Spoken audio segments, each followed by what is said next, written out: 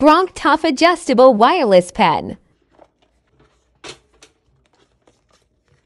Brochure.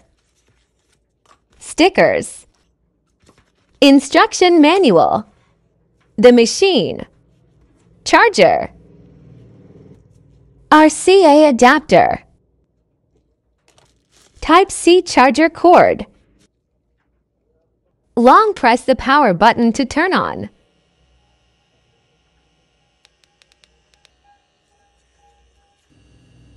Double-click the power button to switch from liner voltage to shader voltage. Stroke adjustment from 2.5 to 4.3. Needle depth adjustment. To remove the battery, you have to half twist and pull. To put the RCA adapter, just put it on the same way. You have to line up like these little ridges into the parts and just give it a little twist. With this RCA adapter replacement, it turned into a compact and lighter short pen. Just a little twist and take it off and you can just switch back and forth between these two.